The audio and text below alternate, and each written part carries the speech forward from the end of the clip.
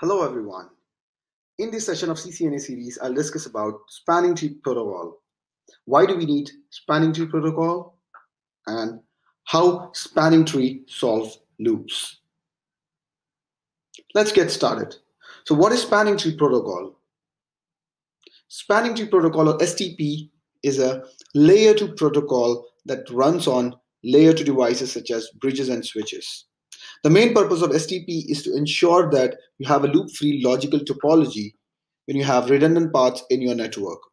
Or you can say it provides path redundancy while preventing undesirable loops in the network.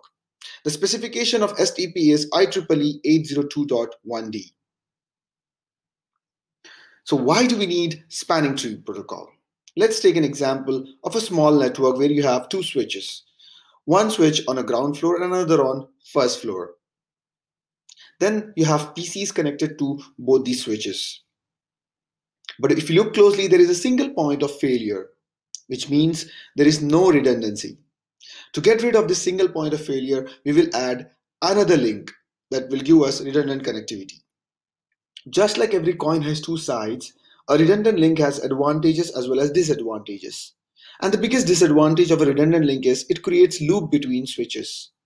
If a loop exists between two switches, then it does not function as expected. So without spanning tree enable, let's see how a frame is processed. If a PC X wants to talk to PC Y, it will send an ARP to find out where the location of PC Y is. And the packet with green arrow shows a broadcast frame sent by PCX. So when the switch 1 receives a broadcast frame, it forwards that frame to all ports except the port where it receives the request. So switch 01 forwards that ARP frame out of FA0 slash 1 and FA0 slash 2. Suppose switch 2 receives the broadcast frame from FA0 slash 1 of switch 1 first, then it will forward that frame to two other links, FA0 slash 2 and FA0 slash 3 of switch 2. The other broadcast frame from switch 1 comes to FA0 slash 2 of switch 2. So switch 2 forwards it back to FA0 slash 1 and FA0 slash 3.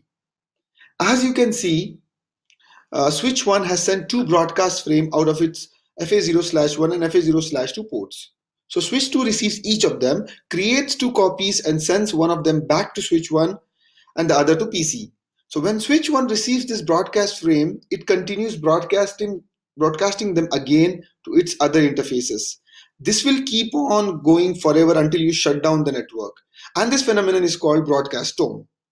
Broadcast storm consumes entire bandwidth and denies bandwidth for normal network traffic. It is a serious network problem and can shut down entire network in seconds. Loops can also cause multiple frame transmission and MAC database instability. All of these problems can be solved with the spanning tree protocol. So let's see how spanning tree solve loops. STP prevent loops by placing each switch port in either a forwarding state or a blocking state. In forwarding state, interfaces will receive and forward frames as usual, and in blocking state, it will not process any frames except STP messages.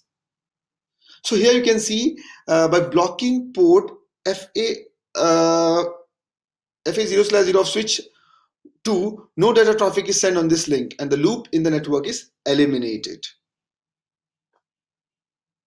That's it for this session. I hope this session was informative for you.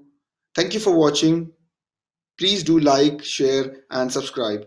Thank you.